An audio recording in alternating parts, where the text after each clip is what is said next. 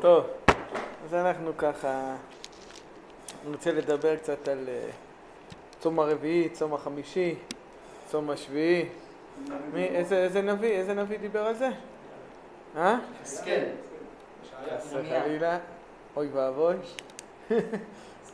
כל הנביאים אמרתם חוץ מ... חזון ישעיהו בן אמוץ? אוי ואבוי. טוב. זה ההפטרה. רבותיי, זה הנביא זכריה. נו, שוקי, פרק ח', פסוק י"ט, מהבטן של אמא, אתה מכיר את זה? כן? אה, אולי כי אין לכם את הדף מקורות, בגלל זה, זה- זה הסיפור. בסדר? יהפך לבית יהודה לששון שמחה. אה, מיכאל, נראה לי זה אחלה נבואה, כל הצומות יהפכו לחגים, נכון? אה, אנחנו סלברייט, כן? אנחנו נתחיל אה, לחגוג, כן? זהו, יותר מדי חגים יהיו, כן? איך אנחנו נסתדר? בואנה, משכנתה חדשה. כן? כל ההוצאות של החגים. בסדר? חוץ מהדלק, מים, לחם, חשמל, זה חור, חלב, חוץ מהכל, יהיה לנו גם to celebrate החגים. השאלה היא, מה יקרה פתאום? למה זה יהפך להיות לששון ולשמחה? למה זה יהפך להיות לחג ולמועד? הייתי מבין, היית אומר לי, תשמע, מאבלות יהפוך להיות יום פרווה. זה אני מבין. יום פרווה, יום חול, סבבה. אבל מה אנחנו נרקוד? נרקוד על... אה, אה, מה אתה רוקד בתשעה באב? על חורבן ראשון, חורבן שני, רדיפות, שמדות, פוגרומים, חטא המרגלים. אה, על מה אנחנו נחגוג? איך אפשר להבין את הדבר המוזר הזה? זו השאלה שלי אליכם, אני מניח שיש לכם כל מיני כיוונים, אנחנו נרצה לתת היום כמה כיוונים שייתנו לנו באמת יחס אחר לתשעה באב. בבקשה, אז אני שומע אתכם. כן. כי כל הסיבות האלה, כי אנחנו חסרים במשהו, עכשיו יבוא בית המקדש, כאילו יש תיקון, שמחים על התיקון. אתה אומר, אנחנו לא נשמח על הצער, אנחנו נשמח על התיקון שיהיה. זה, זה יהיה השמחה. בתשעה באב, בחורבן בית ראשון ובית שני, בחטא המרגלים שלא זכו לא להיכנס. אה, אתה אומר, מתוך זה, היא גם מתוך הצער, נגיד גם... כשמגיע לבן אדם צער, זה כן. עצוב, זה מובן, אבל בסוף כשהוא רואה שמהצער הזה יוצא משהו טוב, אז הוא- צומח מזה. מה? אז אתה אומר, מה שאומר קהלת, עת, עת אה, לשמוח ועת, כן, עת להיות, עת ספוד ועת רקוד, כן? עת להיות עצוב, את זה, אתה אומר, זה יהיה זמן, אבל כשיבנה בית המקדש, וואלה, אנחנו נחגוג. זה הנבואה של אה, זה. או, הצלחת? השתבח הבורא, וואי, וואי, וואי. לא, כי בגלל זה הם התבלבלו שם, כל הנביאים אמרו חוץ מזכריה, אז אה, כן, אז אה, לא היה להם את זה, את הדף מקורות, ברור. שאמרת עובדיה. בסדר? אז אומר לנו אלי דבר שהוא נכון ואמיתי, מתוך הצער רואים את החורבן וכל דבר יש עת. זה כמו שבשעת ברית מילה שמחים, בשעת המוות עצובים. כן, זה, זה בעצם, למרות שזה אותו בן אדם, בסופו של דבר. כן, זה מה שאתה טוען. יפה. מה עוד? מה אתם אומרים? איך אנחנו נוכל לשמוח? על כל הפרוגרומים, על כל השמדות, כל, כל הזה. אתם יודעים שבארצות אשכנז היה למשל מסעות הצלב. רצחו שם מיליון מאתיים אלף איש. גם זה, האירועים האלה, בקינות של האשכנזים, אומרים את זה מתי? בתשעה באב. הכל נכנס בתשעה באב. אפילו יש כאלה שהגדילו לעשות שהכניסו גם את הגירוש של גוש קטיף. גם זה שם נכנס ו... כל המאורעות המצערים שעם ישראל חווה במהלך הדורות מתקפלים תחת תשעה באב. באמת זה קרה בתשעה באב או סתם כינסו את זה לשנה? הדברים הכי כבדים, כמו בית ראשון, בית שני, וה- והחטא שעדיין לא התארנו ממנו, שזה חטא המרגלים, זה קרה בתשעה באב. לא, אבל אומרים שואה ואינקוויזיציה וזה, זה לא קרה בתשעה באב. כן, זה, אבל, אבל לשם, לשם עם ישראל, על מה עצובים? אני אעצור יהודי, על מה אתה עצוב? תגיד לי, בית ראשון, בית שני, ויגיד לי גם על כל הפרעות שקמדות אינקוויזיציות, על זה אנחנו צמים. כן, זה היום הכי עצוב. היום הכי עצוב, כנס, כנס, דחק, דחק, דחק, זה, כן, התרכיז שבתרכיז, זה היום הזה. איך הוא יהפוך להיות לשמחה? זו השאלה מה- ששון ולשמחה למועדים טובים, אומר הנביא זכריה. השאלה על מה אנחנו עצובים, מה מה השורש? תסביר. אם אנחנו, כמו שהוא אמר, נשנה את השורש הזה לטוב, הנביא מזה משהו, אז אני כבר שמח. הוא אומר אם יצא טוב, לא, השאלה, איך אפשר לראות טוב בפוגרום? סתם אני שואל. מה זאת אומרת? זאת אומרת. תחיית המתים כבר יהיה.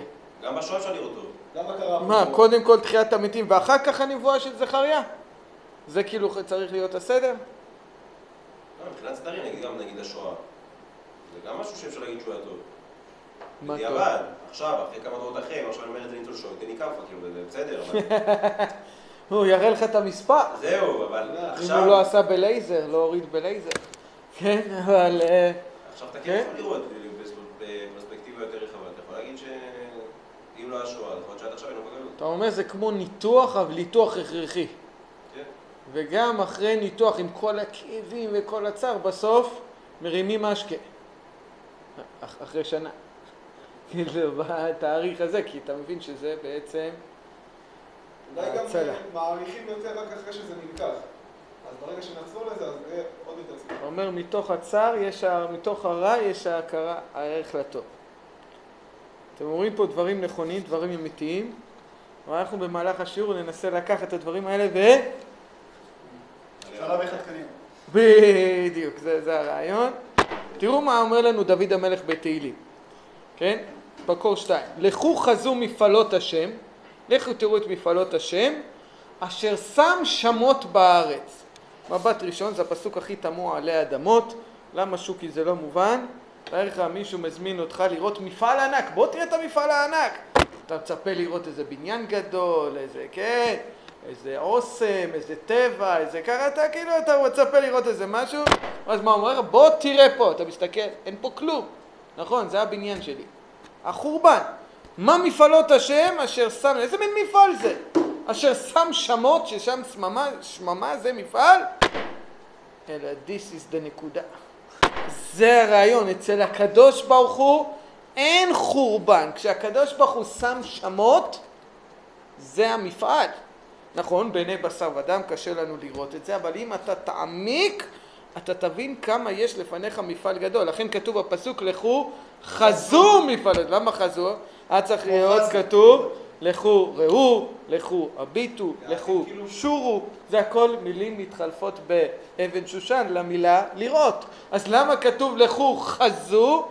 חזו זה כמובן מלשון ראייה למרחק רחוק. יפה, חזון, מלשון חזון. במבט מעמיק אתה תראה שיש פה מפעל. כאילו. או, הנה אני עוד שנייה מגיע אליו. אה, עוד שנייה אנחנו מגיעים אליו, גם שם אנחנו נראה איזה פנינה מאוד חזקה.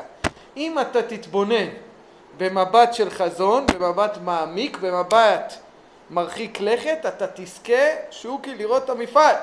החורבן הוא האבן יסוד למפעל האדיר. על מנת שהוא ייבנה המפעל, יש צורך למה? יש צורך בחורבן. יכול להיות שהבניין עצמו אה, יכול להיות עניין של כמה שנים או אלפי שנים, אבל בסוף אתה תזכה לראות משהו גדול שהתרחש. זה מה שכתוב במיכה במקור שלוש, אל תשמחי אויבתי לי, כי נפלתי, קמתי כמו השיר המפורסם, כי יושב בחושך השם אור לי. אומר המדרש באלקוט שמונים מקור ארבע, אילולא שנפלתי, אילולא זה אם לא, כמו שכתוב בתוספות מגילה פרק שני, בהתחלה, אילולא שנפלתי לא קמתי, אילולא שישבתי בחושך השם לא אור לי. מה קורה כאן? חבר'ה, ודאי שאם לא נפלתי, לא קמתי. למה? כי הייתי עומד כל הזמן. זה קטע כזה, אם לא נפלתי, לא קמתי. ברור שלא קמת, כי לא נפלת.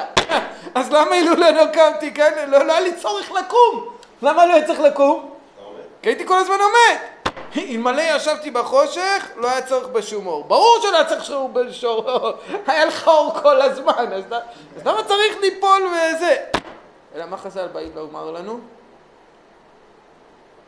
אם לא היית נופל, לא היית מגיע לתקומה הזאת. העמידה קודם היא הייתה עמידה רופפת, לא עמידה יציבה, לא רצינית.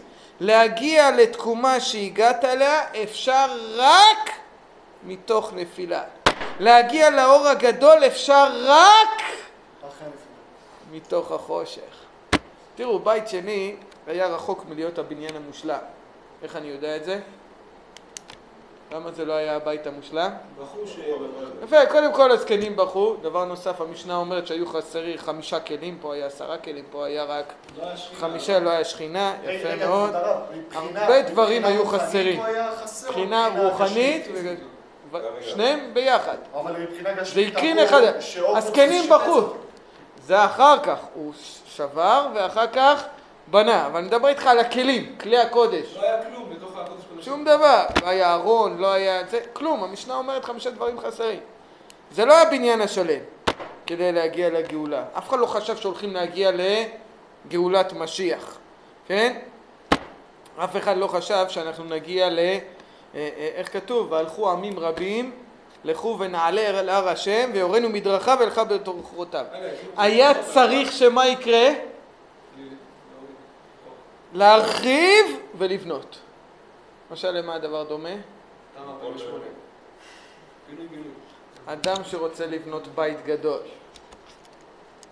ויש איזה חורבה, אין לו שום דרך אחרת, הוא חייב מה לעשות?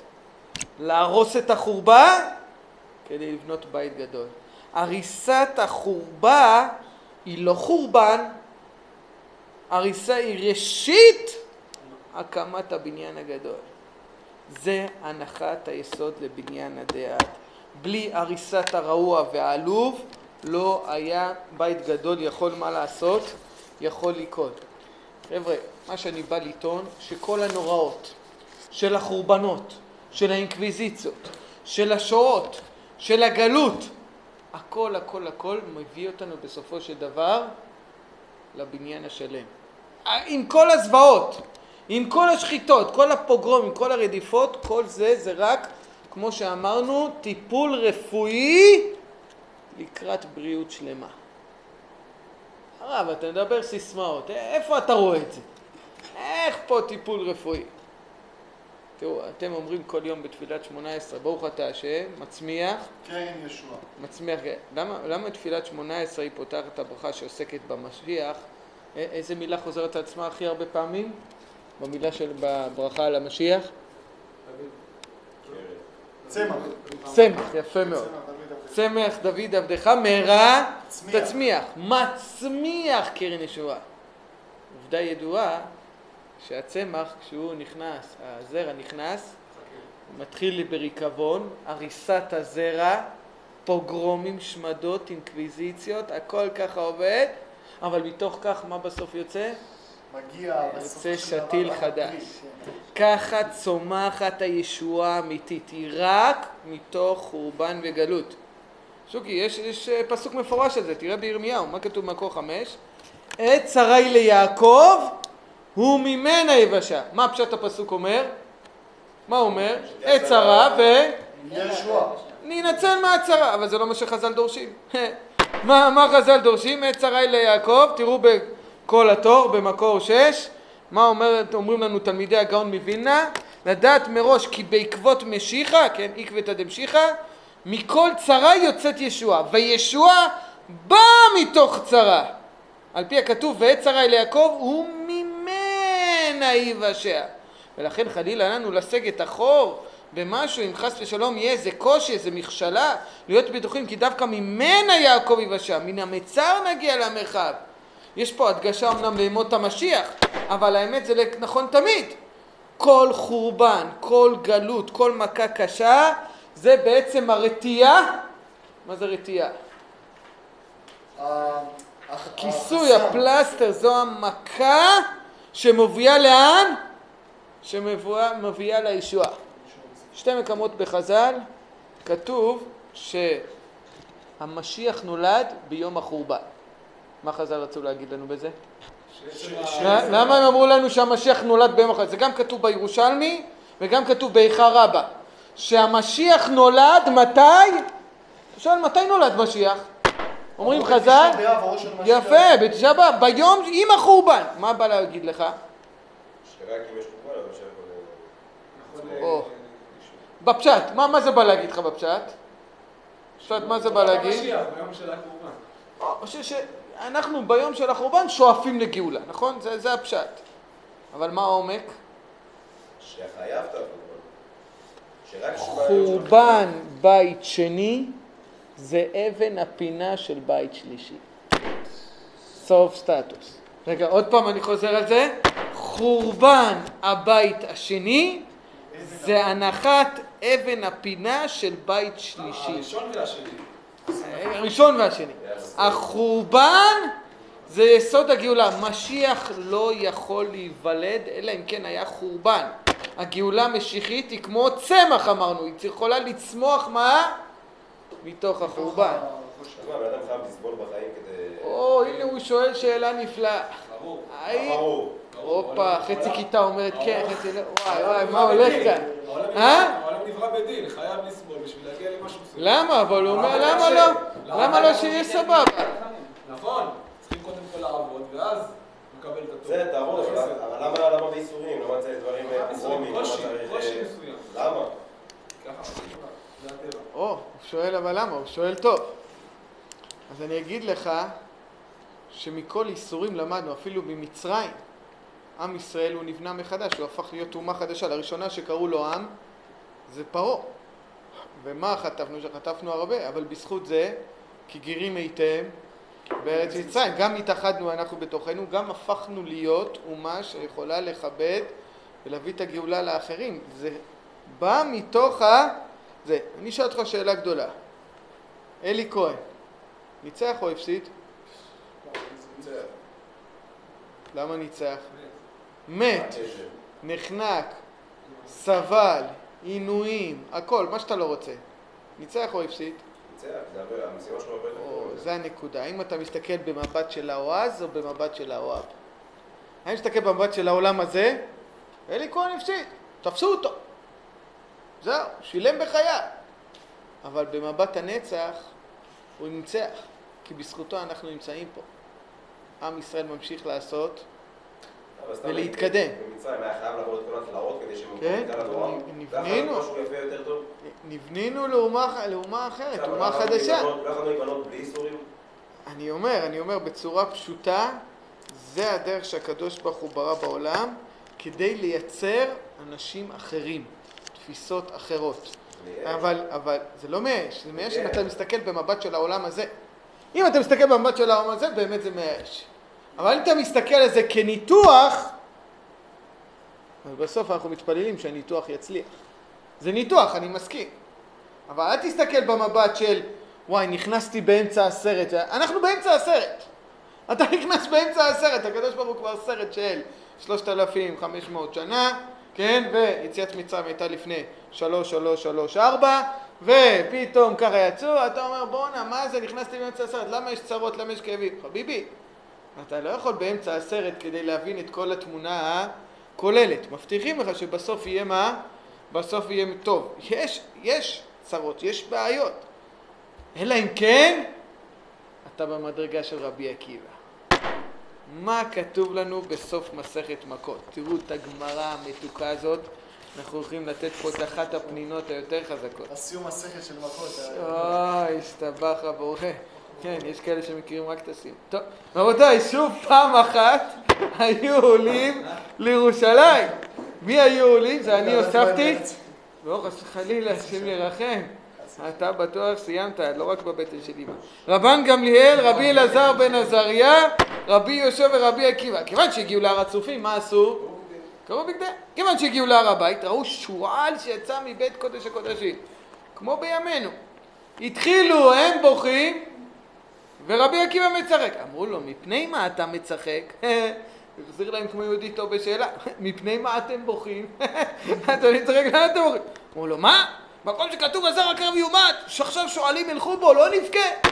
טומאה, משתוללת.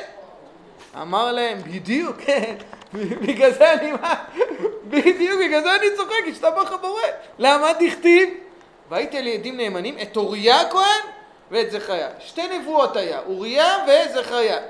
וכי, what's the connection between אוריה לזכריה? מה הקשר? הרי אוריה היה בבית מקדש ראשון, זכריה היה בבית מקדש שני. אלא תעלה כתוב נבואתו של זכריה בנבואתו של אוריה. באוריה כתוב לכן בגללכם ציון שדה תחרש, מה שאנחנו רואים לעינינו. בזכריה כתיב עוד ישבו זקנים וזקנות ברחובות ירושלים. מאפה נאמן. כן, עוד ישבו זקנים וזקנות, אתה רואה את זה שמה. עד שלא נתקיימה, אחרי שבדקו את הכשרות, שוקי, בסדר. שעד שלא נתקיימה נבואתו של אוריה, הייתי מפחד, מתראה שלא תתקיים נבואתו של זכריה. עכשיו משנתקיימה נבואתו של אוריה, בידוע שנבואתו של זכריה מתקיימת. מסיימת הגמרא, בלשון הזה אמרו לו עקיבא ניחמתנו, עקיבא ניחמתנו. אני רוצה לשאול שתי שאלות, אבל אתם עונים את התשובות. איך ייתכן? איך אנחנו רואים פה ענקים, גדולי ישראל? מי, מי היה איתו שמה? ביהושע, רבן גמליאל וזה והכל. הם כולם בוכים ורבי עקיבא צוחק. כולם בוכים, אני מבין למה. למה כולם בוכים? ר- ראו את החורבן. אז למה רבי עקיבא צוחק? מה, רבי עקיבא הוא לא מזדעזע ממראה של חורבן? הוא, הוא, אין, אין לו זעזוע מזה? אז מה אתם תגידו לי? "אה, זה אמונה של רבי עקיבא! זה, זה ליגה אחרת! זה, זה רבי עקיבא, לדבר אמונה של שלמת רבי עקיבא! רביבי, מה אתה מזלזל ברבן גמליאל? מה, לרבי יהושע לא היה לו אמונה? ובכל זאת הוא בכה! חבר'ה, מה שנקרא, כל תירוץ שתיתנו לי, אני אגיד לכם, אנחנו יוצאים לא טוב מהסיפור הזה. לא יוצאים לא טוב. תגידו לי אמונה של רבי עקיבא? אה, רבן גמליאל אין לו אמונה, אה? אז מה תגידו לי? טוב, רבי עקיבא צחק, איש דעתו השתבשה. מה השתבשה? זה רבי עקיבא! הוא יודע מה הוא אומר, מביא להם פסוקים, הכל. איפה אתם? פרט נמק והבא דוגמאות. יש הרב, שאנחנו למדנו אה, זה, של הרב אשר הוא אמר, עכשיו אנחנו ניקח דף. נצייר, אה, נקשקש שם עיגול קטן. יפה. אתה תשאל אנשים, יש אדם, יבוא להגיד לך, וואי, אני רואה פה נקודה שחורה, זה הדבר שהורס את כל הדף. יבוא אדם אחר, יגיד לך, אמנם יש נקודה שחורה קטנה, אבל כל הדף ברובו הוא לבן. שאלה איפה אתה מסתכל. בדיוק. נו, אז רבי עקיבא, על מה הוא הסתכל? רבי עקיבא הסתכל על החזון, כמו שאמרנו, על מה יהיה, יפה. אה, על מה יהיה זה, והם, כמובן... והם מסתכלים על השואלים? זה, מה? בדיוק, והם מסתכלים על מה קורה עכשיו. נכון, עכשיו יש בעיה, עם ישראל לא נמצא במצב העילית. אה, ו- כעיקרון, אולי אור לגויים, זה כמו, ש... כמו שבסופו של דבר כמובן נאמר, ויאמרו השם אחד ושמו אחד. אבל, אה. אבל אנחנו רואים ש... שבזמן הזה, גם בין גדולי העולם, אנחנו רואים תפיסות שונות. יפה. תהפכו את הדף. התשובה שלך נמצאת ברב קוק. בעולת ראייה. אומר לנו הרב קוק, זה ההבדל בינו לבינה, מפני שלנפשו הענקית של מי? רבי עקיבא, העתיד הרחוק, זה רק קצת ככה שיפוץ לדבריך, העתיד הרחוק נמצא בהווה. רבי עקיבא ראה בחוש את מה שאחרים ידעו באמונה. הוא ידע את זה בחוש. פעם קראתי את ההקדמה של יסוד ושורש העבודה. מכירים? יסוד ושורש העבודה. ענק שבענקים, מגדולי החסידות. אז הוא כותב שם בהקדמה שהאמונה שלו היא כמו האמונה של משה רבנו במעמד הר סיני. כך הוא כותב על עצמו, זה מוות. האמונה שלי זה כמו מה? כמו שמשה רבנו חש את הקדוש ברוך הוא 40 יום ו-40 לילה, כמו שהוא חש את הקדוש... או, בכבוד. תן לו בחיזוקים. כמו שהוא חש את הקדוש ברוך הוא 40 יום ו-40 לילה, ככה גם יסוד ושורש העבודה הרגיש. ככה אותו דבר רבי עקיבא הרגיש. הוא ראה בחוש את מה שאנשים, אני מאמין, יהיה בסדר, מאמין. מאמין, רביבי. יש מאמין ויש חש. לא מאמין, חש בהווה. חש. זה רבי עקיבא. אצלו האמונה בגאולה היא הייתה חיה. איך אומר לנו הרב קוק? עד כדי, במקור שמונה, הפוך את הדף, עד כדי מל- מלוא ציור חי. כי רומי ואליליה, מה יקרה לה? קליל לחבו, מי אני מסתכל? הוואקף? מי הם בכלל? עוד שנייה יבוא שופל, ירים אותם עם העתיקות. כן, יסיעו אותם לזה, זה רק עניין של... מה, תשמע, הם מתבססים. אתה לא רואה, הם עושים שם פיגועים, עניינים וזה, זה מה? כליל יחלוף, אומר לנו הרב קוק. אור ציון לעד יזרח. הוא לא רק האמין שהיא תבוא, הוא ראה אותה כאן עכשיו. לכן הוא יכול, במדרגתו האדירה של רבי עקיבא, הוא יכול לצחוק מול המראה המזעזע של מה? של החורבן ה- העכשווי או העתידי? העכשווי. העכשווי. רגע, רגע, ואני רוצה לרדת לשור. לא, לא, לא סיימתי איתכם. אה? חשבתם כבר סיימנו את הזה, אה? אה, אה, מיכאל, שיהיה משהו לסיום הסרט קצת, כן? רבי, רבי עקיבא, הוא תולה את הנבואה של מי? נבואתו של מי? תזכירו לי? זכריה עם קיום נבואתו של אוריה. למה זה קשור אחד בשני? למה ה connection הזה? הוא היה שני. רגע, ולמה הוא אומר שאם נבואת אוריה לא מתקיימת, אז נבואת זכריה לא מתקיימת? הייתי אומר הפוך, אם נבואת אוריה לא מתקיימת, אין צורך בכלל בקיום של נבואה של זכריה. אם הנבואה של אוריה לא תתקיים, אז לא צריך מה? את נבואה של הבניין, נבואה של חיה. זה הקטע. או, תסביר, או, או, בוא נראה אם הפנמת, או, או, עקיבא חייב שתהיה הנבואה של...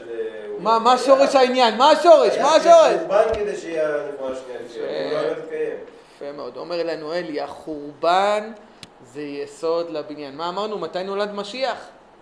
בתשעה באב. בתשעה באב. כל עוד לא היה חורבן, לא תיתכן גאולה. כדי שיאיר האור במלואו, במלואו, מה צריך? כי ישב חושך. בחושך. יש צורך שתתקיים קודם כל נבואה של אוריה במלואה, ואחר כך מה אפשר? נבואה של זכריה. עכשיו תראו את הגמרא, תראו את הלשון, אתם נופלים מהכיסא, זה ממש סכנת נפילה.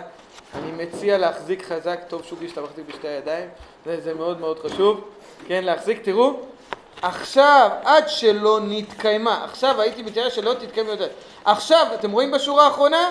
משנתקיימה נבואתו של אוריה, בעמוד הקודם, משנתקיימה נבואתו של אוריה, בעבודו של נבואתו של זכריה, מה מתקיים? איך צריך להגיד בעברית? יפה מאוד! בידו של נבואתו של זכריה, תתקיים! לעתיד מה כתוב? מתקיימת, זה נאו, עכשיו אפשר לשמוח. הוא לא רואה את זה בעתיד, הוא רואה את זה מתקיימת, כאן עכשיו. איזה הסתכלות של רבי עקיבא. בתוך נבואתו של אוריה, שזה השורש, ממנה פינה, ממנה היסוד לקיום נבואתו של אחר. זאת אומרת, כבר התחיל פה עכשיו מה? גאולה. ההילולה מתחילה. חבר'ה, אתם רואים שזה זה פשט? זה, זה רמה גבוהה, זה פשט! אתה לא אומר, טוב, איזה דרשה של איזה אחרון על הגמרא. לא, זה כתוב, לא כתוב תתקיים בעתיד, מה כתוב? אף אחד לא שם לב לדברים. לא שמים לב, אה? שמים כאילו לב. הזמן רץ כפול 500 לא, לא, פשוט שמים לב לכיבוד, לכיבוד בסיום, על זה שמים לב, לא שמים לב לסיום, כן? חבר'ה, תייצרו לעצמכם אדם שהוא מצב שיהודי, לא עלינו, יהודי חולה, חולה במחלה רצינית, הוא עובר ניתוח קשה. בדיעבד מתברר שהניתוח מה? הציל אותו, והוא, ברוך השם, קם והבריא. מה הוא עושה בכל יום מאותה שנה? כל יום שהוא עבר את הניתוח, מה הוא עושה? סעודת התויה, הוא עושה משקה. עושה לחיים, משתבח הבורא. רגע, רגע. אתה השתגעת? אתה חוגג את יום הניתוח? מה, מה, מה עובר עליך? מה אתה חוגג את יום הניתוח? זה היום הכי כואב בחייך! איזה ניתוח עברת! היום הכי כואב! אבל מה יצא מזה בסוף? כאבים עזים! אתה יודע איזה כאבים עזים יצאו מהניתוח הזה? כמה טיפולים, כמה דברים, כמה, כמה נאלצתי לשכב זמן, לשכב זמן רב? האם הוא התאושש מיד עם הניתוח? לא. הוא לא התאושש מיד עם הניתוח, לקח זמן. אבל מבחינת האמת, זה לו. יפה מאוד. הניתוח הוא זה שהציל אותו, ולכן הוא סלברייט את הניתוח. הוא חוגג את זה. זו הסיבה שהצומות יהפכו לחגים כשתבוא הגאולה השלמה. התברר שכל מה שהביא אותנו זה היה תהליך של חורבן וגלות, התברר שהחורבן היה סוד לבניין הגדול, החורבן כולו היה לטובה, כי רק על ידו הגענו לשל... לשלמות. וכאן עולה פה שאלה מאוד מאוד גדולה. אם החורבן הוא היה חיוני על מנת שנגיע לגאולה השלמה, אז החורבן הוא טוב. בואו נתחיל לחגוג היום את תשעה באב. יאללה חבר'ה, פינגה, לילה, לילה, לילה, זה חג טוב. יאללה, נשאר אמרנו, זה כולו טוב, נכון? אז מה צריך לעשות? כן, איך אמר לנו, אה, איך אמר לנו רבי עקיבא? מתקיימת. יאללה, עכשיו, חבר'ה, תביאו את הבירות. יאללה, קדימה. חינגה. לא, זה מה שכתוב, לא? למה צריך לחכות? לגאולה השלמה. למה צריך לחכות? שאלה גדולה. למה צריך לקרות? למה צריך? למה לחכות? למה זה רק בגאולה השלמה? למה בינתיים אתה עצוב בתשעה באב? היא לא שלמה, אבל... כל אדם שעבר ניתוח, בסדר, הוא עבר את התהליך, אבל רק כשהוא באמת מתרחב... למה? אבל, זה אנחנו. יודעים שזה כמו ניתוח. יודעים שמזה יהיה לנו את הישועה. השתבח הבורא, בוא נשמח. כואב, לא אמרתי שלא כואב. כואב, כואב, אבל בוא נשמח. כי אתה אתה בוכה על זה שאתה רוצה שתגיע כבר לזה. אה, אתה בוכה על זה שהגאולה לא שלמה. לא, כאילו, אני כבר רוצה להגיד, נגיד סתם, בן אדם עובר ניתוח, הוא יודע שהוא התחיל ניתוח ויש לו שנה שיקום. אז אחרי. חצי שנה הוא בוכה, למה הוא בוכה? למה קשה לו? כי הוא רוצה להגיע כבר לשנה, לעוד חצי שנה הזאת. יפה. לסיים את זה כבר, ושיהיה שלם, שיגמר, שיצא את התהליך הזה. אתה אומר, בית חולים, שישתחרר, למרות שהוא כבר עשה איתו לפני שנה. אבל למה לא לחגוג מהיום? למה? לא, אין מה לחגוג עכשיו. אין מה לחגוג עכשיו? למה? אמרנו שזה... בוא'נה, אתם כנראה לא מספיק מאמינים ברבי עקיבא. כי אה, שזה נבואת ה... כאילו נכתב בימינו. או, יפה, תגיד, תגיד יפה. עוד לא תיקנו את הבעיה. יפה. יפה, אתם אומרים טוב, אני אשלב בין שניכם. תראו מה אומרת לנו, כן, תהפכו את הדף, מה המשנה בברכות אומרת לנו, משנה מפורסמת, על בשורות טובות מברך הטוב האמיתי ועל שמועות רעות אומר דיין האמת. מה הגמרא בפסחים מוסיפה? לא כאוהב, האוהב. לא כעולם הזה, העולם הבא. האוהב על בשורות טובות אומר ברוך הטוב האמיתי. הבשורות רעות אומר ברוך דיין האמת. לעולם הבא, איזה ברכה אנחנו נברך? כולו הטוב האמיתי. וואי, איזה גמרא סטטוסית. העולם הבא, כולו הטוב האמיתי. למה? אין לנו ברירה. תלוי בדרגה הרוחנית. פה אנחנו לא יכולים לראות את ה... או, זה הנקודה. האם אנחנו יכולים לראות או לא? לעתיד לבוא יתברר שבעצם הכל טוב, הכל נועד לטובה. גם מה שהיה רע, לאמיתו של דבר הוא טוב. לכן לעתיד לבוא, כשתתברר האמת, אנחנו נברך על הכל מה? הטוב האמיתי. רגע, גם אפשר, אפשר לשאול את אותה שאלה. אם מבחינת האמת הכל לטובה, אז למה לא לברך גם היום? הרב, לא תירצת את הקושייה. למה לברך על, על הכל הטוב האמיתי מתי? היום. למה לא לברך הכל הטוב האמיתי היום? אנושי, אנושי. אה? אומרים לא אנושי. אתה אומר רבי עקיבא שני. אתה אומר, כן, זה מדרגה אחרת. עכשיו בן אדם עכשיו היה פיגוע, לפי. מה הבן אדם מברך? לפי איך שהוא רואה את זה. שהוא מרגיש. יפה, איך שהוא מרגיש. נפלא. איך שהוא רואה ואיך שהוא מרגיש עכשיו. ברכת שהחיינו, מה אומרים לך? תלוי אם אתה שמח, כמה אתה שמח. אתה שמח תברך, לא, לא. לפי איך שאתה רואה ומרגיש. בעולם שלנו, חבר'ה, אני לא רוצה שנצא מטומטמים, וואנה, הרב חגי סובב לנו את המוח, זהו, עכשיו מישהו מת, יש, עוד צעד לגאולה. כן, לא, זה לא, זה לא אמר, חס וחלילה, כן? חבר'ה, שלא תגידו, סובבתי אתכם, בעולם שלנו, כאשר בן אדם, לא עלינו, נפגש עם בשורה רעה, כרגע הוא לא רואה שום צד חיובי. לא עלינו נפטר קרוב, אין צד חיובי. כרגע אתה נפגש רק עם הרע. רק, כמו שאומרת לנו הגמרא בפסחים, בעולם הבא, מה זה בעולם הבא? מה יקרה בעולם הבא? נגיע לאיזה מצב? שרק טוב. אה? נגיע. לראות איך יפה מאוד שגם בדבר רע אתה תראה את הטוב שצומח ממנו, אין דבר אתה כזה. תראה את זה, אז אתה תוכל לברך בפה מלא הטוב והאמיתי, ולא דיין האמת. באמת פה אין דבר כזה רע. זה אנחנו מפרשים את זה בטוב. נכון. מה שקדוש ברוך הוא עושה זה רק טוב. לכן אני אומר, אנחנו מרגישים רע, לכן אנחנו מברכים רע. כלומר, כדי לברך לא מספיק להכיר במציאות, בשכל, כמו שרבי עקיבא מה? הכל הולך להיות טוב. השאלה היא, כמו שאמר נועם נכון, איך אני מרגיש, מה אני חש, איך המציאות הזאת נראית למעשה. לא מספיק שאתה יודע בשכל שזה מוביל לטוב, השאלה היא איך אתה מרגיש. מרגיש בלב. הברכות נקבעות לפי המציאות שלי, לפי מה שאני חש. רגע, כל זמן דאביד רחמנא לטב אביד? מסתבר. זה נכון או לא נכון? כל מה שעושה הקדוש ברוך הוא, נכון או לא נכון? כן. מי לימד אותנו את המשפט הזה? יפה מאוד. רבי עקיבא, כן זה רבי עקיבא.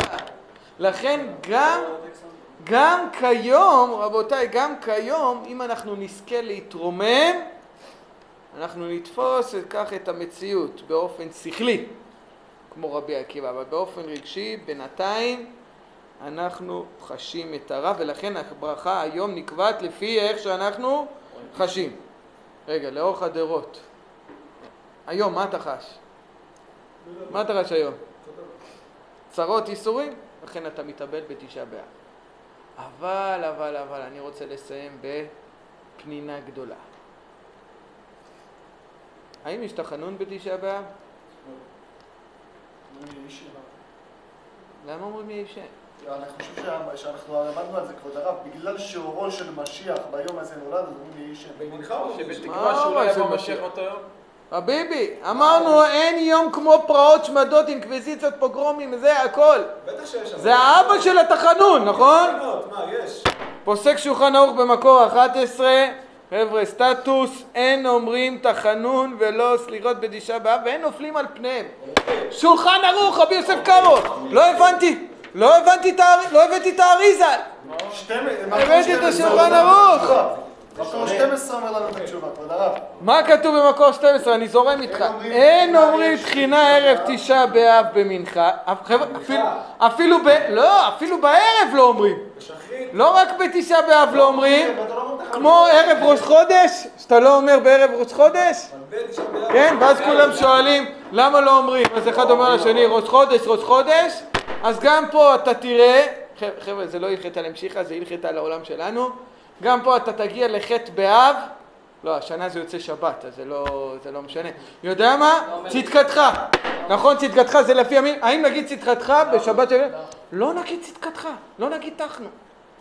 וואי, אומר לנו השולחן ערוך, אין אומרים צדקת... אה, כתוב, אם הוא שבת לא אומרים צדקתך, חשבתי אני המצאתי את ההלכה. כן, משום מה? משום דמיקרא מועד. מו... וואו, וואו, וואו, לא פחות ולא יותר.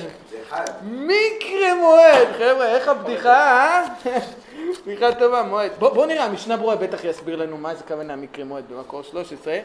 כי דכתיב באיכה קרא עליי מועד. אני הוספתי לכם את הפסוק במלואו, שתבינו את גודל הבדיחה.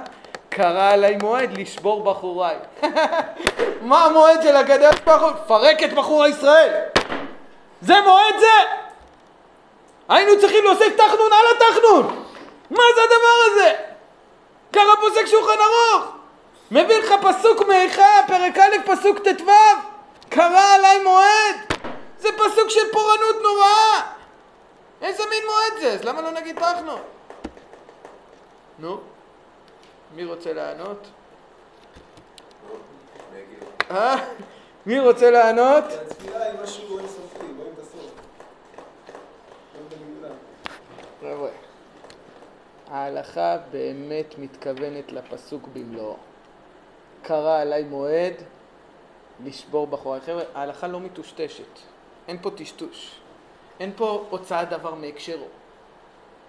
אלא זה היסוד למועדים טובים שהנביא מדבר עליהם. על מנת שאנחנו נגיע למועדים טובים, אין ברירה אלא לעבור דרך קרא עליי מועד לשבור בחוריי. ודאי שזה כואב. ודאי שזה ניתוח נוראי, אין, אין מחלוקת בכלל בדבר הזה. אבל זה מה שיוביל אותנו למועדים טובים של הנביא זכריה, המקור הראשון שהבאנו. וזו האמת של תשעה באב ושל יתר הצומות. אמת, שכמובן, כמו שאמרנו, תתברר לנו בגאולה השלמה. בינתיים אנחנו לא כל כך מרגישים בזה, בוודאי אנחנו מרגישים רחוק ממועד, אבל ההלכה הזאתי, ויש עוד הלכות, כמו שלמשל בצהריים קמים ונוהגים לשטוף ולנקות כי המשיח מגיע, כן, מכירים את זה שמחצות נוהגים כבר לשטוף, מכינים, מותר כבר לשבת בחצות היום, כל מיני כאלה הלכות, אנחנו מתחילים מה לעשות? ההלכה באה לעורר אותך חביבי, תתחיל להסתכל. יפה מאוד, הסתכלות מעמיקה וחודרת למהות של תשעה באב. ההלכה קוראת לך לראות את הנסתר, את מה שעדיין לא גאול. נכון, בעין זה הבל, אבל מה עומד מאחורי זה? יש כאן רמז למהות האמיתית והעמוקה של תשעה באב. חביבי, אתה רוצה להיפגש עם הרמז הזה? מה זה תשעה באב? מה זה הדבר הזה עם הצד הפנימי הזה שהולך להיות בגאולה השלמה? תזכור את זה שלא אומרים תחנון בתשעה באב. ככה כותב הרב באגרות. זה נקרא פסקה המועדיות הכ- הכמוסה. אומר הרב, תיחשף המועדיות הכמוסה. מה זה הכמוסה?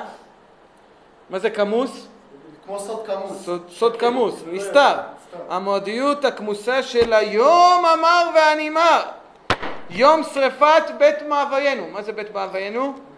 בית המקדש. שכל כל חורבן, כל מאפל וכל הרס ודלדול קשור עמו. ראיתם? הנה זה מפורש ברב קוק. כל הדברים הקשים שקורים לנו, זה קשור למה? לחורבן הבית. ומבין המצרים, רווחה תופיע.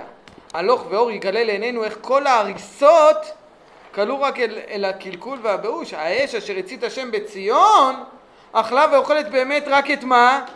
את הדופי, את התיעוב, את החילוניות, את החולשה, את הדברים הרעים. אבל האמת סופה מה? לנצח. החורבן, עניינו האמיתי זה פשוט הרס השלילה. את הקלקול ואת הרע, את זה החורבן הורס. וזה בא להוביל אותנו אל הטוב הגדול. להביא לבניין השלם שאין כמוהו, להביא לגאולה השלמה. זה מבחינת האמת העניין של החורבן. בבוא הגאולה, כשכל זה יתגלה למעשה, ואנחנו נרגיש את זה, אז אנחנו celebrate. לכן אנחנו נצפה בכל לב לקיום נבואת האמת. איזה נבואה? שצום הרביעי, צום הרביעי, י"ז בתמוז. צום החמישי, ט' באב. תשעה באב. צום השביעי, צום יה- גדליה. וצום העשירי, צום העשירי. עשרה. בטבת.